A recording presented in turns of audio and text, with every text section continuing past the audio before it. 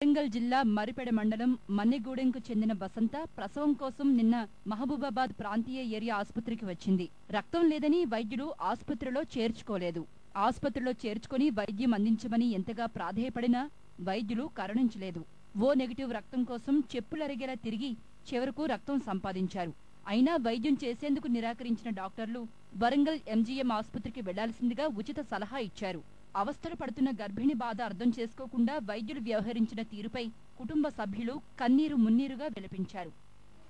లేకలాగా ఇళ్ళకి వచ్చింది ఉచితంగా వస్తుందంటే మా అమ్మ చనిపోయింది లోపలిచ్చి.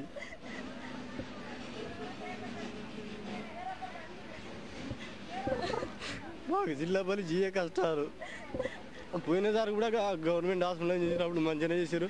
సెకండ్ హాఫ్ కూడా మంచిగా చేస్తారని ఆశతో కానీ ఇప్పుడు అసలు పట్టించుకున్నాను నాదుడు ఎవరు లేరు. విషయం మీడియా దృష్టికి వెళ్ళటం వల్ల హుటాహుటిన ఆసుపత్రిలో చేర్చుకుని వైద్యం మొదలుపెట్టారు.